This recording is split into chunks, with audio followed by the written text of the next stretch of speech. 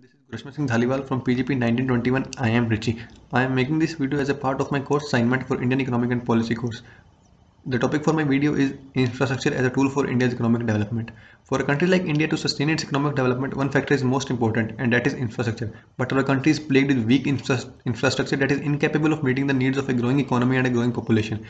Poor infrastructure is the major hurdle facing Indian government's ambitious program of Make in India, which aims to improve manufacturing competitiveness and achieving higher growth that will generate employment infrastructure investment can not only remove those inefficiencies but also help India to achieve sustainable growth. So infrastructure is very critical for India's manufacturing competitiveness.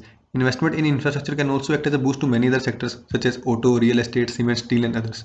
Despite India's significant investment in infrastructure, about 35% of GDP, government estimates that it still requires 1.5 trillion US dollars over the next decade that will be used to bridge the deficit rather than create room for future growth. It is believed that if India invests 1% of its GDP on infrastructure, it will lead to 2% growth in GDP because infrastructure has multiplier effect across various sectors. The World Economic Forum study on global competitiveness report has ranked India at 55 out of 140 countries.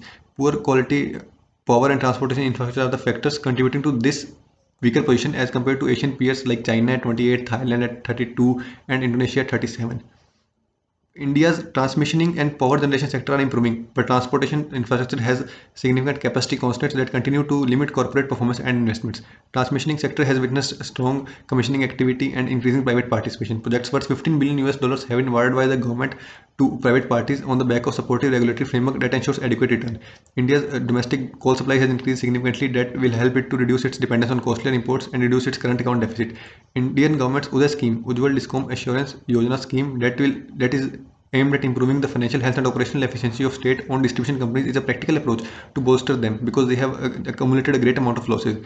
India will however need to carefully manage its capacity addition and avoid overcapacities like China has seen in recent years due to its economic slowdown large capex needs to be executed with discipline. India's congested road transport, inordinate delays at railway freight movement, and larger turnaround time at, airport, at ports are the factors contributing to the capacity constraints on the transportation infrastructure. Land acquisition issues are the factors that contribute significantly to time and cost overruns for developers. Transportation infrastructure could benefit significantly from a stable regulatory environment with an independent regulator and comprehensive policies. In contrast to the stable regulatory environment in transportation sector globally, sector globally and in Asian Pacific region, India is a relatively India is at a relatively weaker position in this area. With India's growing population. India's gross fixed capital formation is healthy at 30 to 35% of GDP, but it has significantly lagged China since 1990s.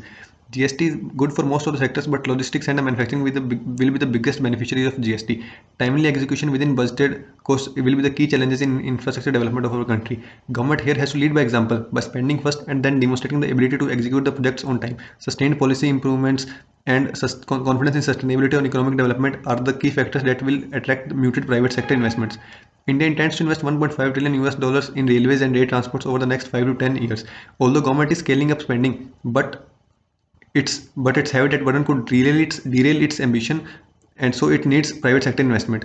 India needs resolute commitment that will require flexible policies and uh, timely execution on an unprecedented scale. Private investment will follow if government agrees to share the risks with them and also supports them with uh, supportive policies. Only lower labor costs aren't sufficient for India to improve its to improve its manufacturing competitiveness. A vibrant manufacturing unit with infrastructure development will be the key to reap benefits of demographic dividends that India has in its younger economic generation. India remains an attractive destination across investment destination across across global across at a global level. Government has to complement this with stable and supportive policies and also by focusing on economically feasible projects. India requires 800 billion US dollars by 2022 to support to have a sustainable development.